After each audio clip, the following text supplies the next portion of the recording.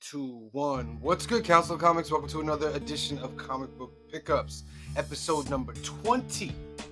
We're heading back out to Kent Comics. Picked up about 14 books for about $64 or so.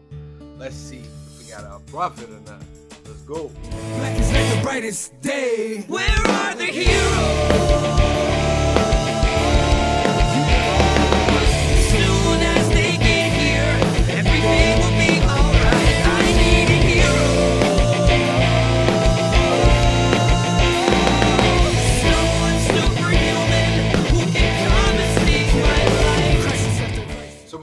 Started, I want to make sure everybody that is in here that I thank you for watching the video. Please hit that like button. Also, if you're not subscribed, please hit the subscribe button. You know, the analytics show that more than half of you guys that are watching aren't even subscribed. And if you guys hit the subscribe subscribe button, we'll probably hit a thousand subscribers sooner than we anticipate.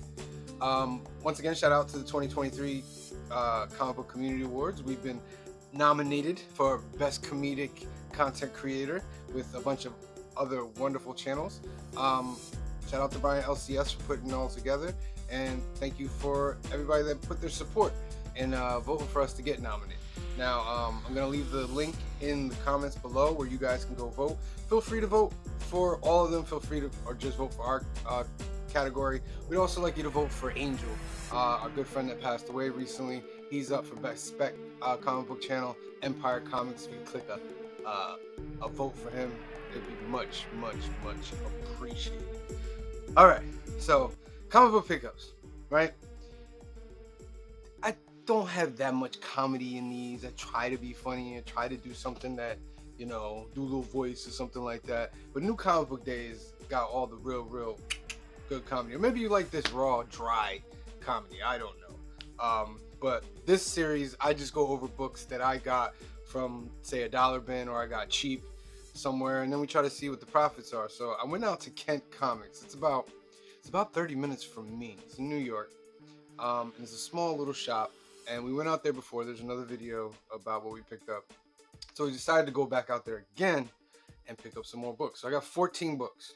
All right, we paid $64 for them. So let's see what we got. First up, out the gate, G.I. Joe number six. This is the original run of G.I. Joe from Marvel. Um, recently, Image Comics has announced an agreement with Skybound that they now obtain the rights to G.I. Joe and Transformers. They'll be launching new G.I. Joe and Transformers series. But Larry Hama has been announced to come back and continue A Real American Hero, which ended with issue 300 in IDW, and it ended on like a, a cliffhanger and the return of Snake Eyes, which was phenomenal. Um, so they're releasing in November issue 301 with Larry Hama, continuing the best comic book series ever. But this is uh, um, book number six of the original run. Um, this is one that I needed for my collection. I paid five dollars for this, and it's worth about twenty-five dollars. It's in great condition. Classic little Cobra Commander head with the October Guard in there, along with the Joes. Very nice. So that's a good pickup right there. Very, very good. Next up, the sensational She-Hulk number 46. It's a very dope puzzle uh, face cover of Jen Walters.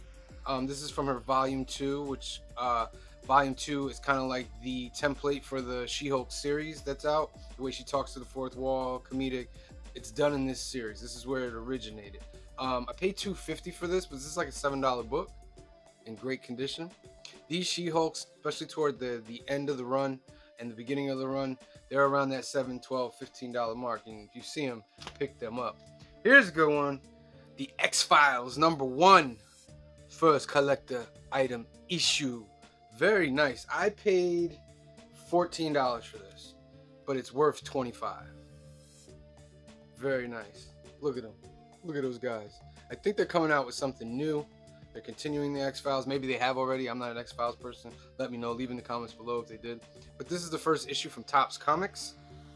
Very, very nice. You know, I like to pick up these niche TV, movie, animation type stuff. Um, next up, The Age of the Sentry Variant Edition number one. I paid $3.25 for this. It's about a $5 book. I thought I'd pick it up because it's the number one and it has to deal with the Sentry. And the Sentry is showing up in the Thunderbolts movie played by Stephen Yang, um, hope I said his name right. Um, from The Walking Dead, he'll be playing the Sentry um, in the Thunderbolts movie. So this was an issue one, variant. I was like, let me pick it up, and then it's you know it's worth five bucks, so really good. Next up, Alpha Flight number 17. This is a 60 center. Yeah, you know about them 60 centers. This is a homage to the classic X-Men issue of Alpha Flight um, coming to get Wolverine. This is also a newsstand. Very, very dope. I believe this is a Byrne too as well. Yep. John Byrne, one of the legendary artists. Big guy on the X-Men. Just a great, great cover. Great, great cover. What's this in there? The X-Men and Alpha Flight. How they met and what happened later. Plus a new leader. um, but I paid 325. This is a seven dollar book newsstand. This might go on the PC because I like that very much. Next up, I show this book a lot, but I'm gonna keep pressing it. X-Men number one, cover D, the Magneto cover, drawn by Jim Lee. This is part of the greatest selling comic books of all time. This issue has five different covers, one through, sorry, got that little bit, A through D, and then they have an E cover that collects them all. It sold over 8 million copies, became the biggest selling book of all time. This is the one out of the A through D that people covet the most. Um, this one's worth about $12, but you could get it up to like 15, 20 with a real, real, real. This is good condition, but if you got like a 9.8, is this a 9.8? Hmm. Hmm. I put 12, but I'm gonna say about 15. This is really good. Look at that cover, it's classic. Classic Magneto. Very nice. Dope. Very dope. And uh, we got issue two of that same series. Magneto Triumphant. Um, this book is worth about ten dollars. You can find these in those dollar bins or some shops that have bins and they have a whole bunch and they'll sell it to you for like two, three bucks. But these are worth about ten if you get it graded. Pretty good. Remember what I said? A lot of people say, "Oh, there's millions of them out there. There's millions of them out there." I don't really think there's millions of them out there. Are there a lot of these out there? Yes. Millions? I don't know. So snatch them up now while you can, before uh, you can't. Next up, uh, Spider-Man number three from Todd McFarlane. This was a series they gave him his own solo series after the Amazing Spider-Man. He wrote this book. He drew this book. It was a very very dark book. Um, the first 13 issues are really really dark. He fights people like the Lizard, the Hobgoblin, Ghost Rider comes on the scene, um, Kraven comes on the scene, Morbius comes on the scene, Wolverine shows up in a couple of issues, and it's just a classic series from McFarlane. Classic series. He is the all-time Spider-Man artist, in my opinion.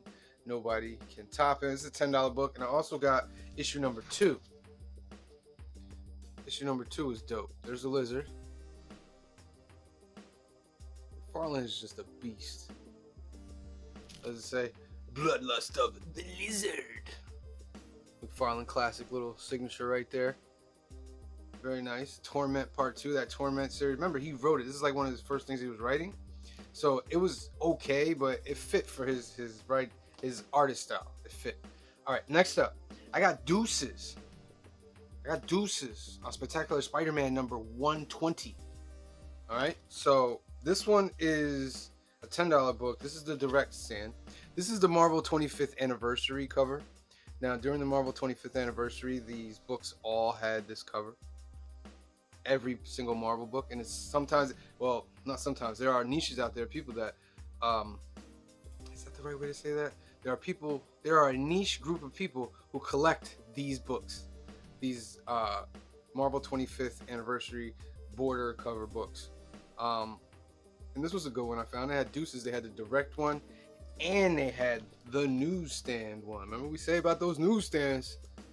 Those newsstands from about 83 to like 2000 and something. Pick them up. Pick them up. Don't hesitate. Still, he was rocking the black suit at that time. I don't think he knew it was a symbiote at the time though. Um, we're closing down now. I got Avengers number 238, Unlimited Vision. This is also a newsstand. I paid four dollars for this, but this is a ten dollar book. 60 center. Look at that 60 center. Dope. Dope. It has Vision on there. Has Captain Marvel. Remember, she was the original Captain Marvel. She was the first woman to be called Captain Marvel. um, not Carol Danvers. Um, there's Star Fox over there. Very, very dope. Very, very dope Avengers book. I also got Avengers number 250, double size, double team entertainment or excitement. Um, I paid 350 for this. This is also a $10 book. Um, and I really like collecting the the milestone issues like 100, 25, 50, 75, 250, that kind of thing. This is issue number 250. Um, newsstand in great, great condition, man. I might give it a press, and we'll see how it goes. This is, I think this would be a dope book to have graded. Very, very nice. Excellent. In the last book, I found this in their in their cabinets and stuff, but it was really beat up. But it's a super key. Um, it's Avengers 267, the first appearance of the Council of Kangs. The Council of Comics, the Council of Kangs. Ah! Um, Kang lives. This is a classic book. In 9.8 condition raw, this book is about $60, $70. Right? Graded, you're getting up there like 250, 300 or that whole range. But this is like a 5.0 because it's it's beat up. It's gnarled. You know what I mean? It's got pieces missing. It's got pieces, and I put 12 there. Because you could probably still get 12 in this era for this book. Thinking that it's worth 60 to 70, you could get 12. So I put 12 there. You don't like I put 12 there? I don't care if you don't like it. It's what I put. You want to put something different? Go make your own video. 12. Yes. Hmm. All right. So those are all the books. There's 14 books. Uh, I paid 64.25 for them. All right. Uh, they're worth 168 dollars. 168, and that leaves us a profit of 100 and that say seven or 100 103.75. I'm looking at the math here because I scribbled it. Um, three. Let me do some math real quick. Yeah, yeah, yeah. 103 and 75 cents. A profit of so we made about $100 back out of this, and that's really really good. Um, not one of the biggest hauls. Um, I got a really big haul coming up. Really big haul. Um, probably not the next one, but the one after. Um, but it's decent. About $103. That's what we're talking about. Remember what we say? Some go into PC, some go for sale. You decide which ones you do and which ones you don't. All right. Shout out to Kent Comics. Uh, great spot out in, out in Carmel, New York. Go check them out. All right. So remember, if you haven't subscribed yet, please hit that subscribe button. Check out New Comic Book Day, our running series. We're up to like 63, 64. I don't know what it is, but we got funny, funny skits in front of it. Very, very funny skits so you can watch. And then I got the link in the description with the thing that you can hit and you can go and you can vote. Um, vote for us in Empyre Comics. If you want to vote for more people, sure, fine. Have a ball. Just tappy tappy away. Do what you do. Um, but I thank you for watching. Thank you for tuning in. Um, for I always do that with it, right? For myself and the rest of the Council of Comics, we thank you for watching. We love you. See you next time. Peace.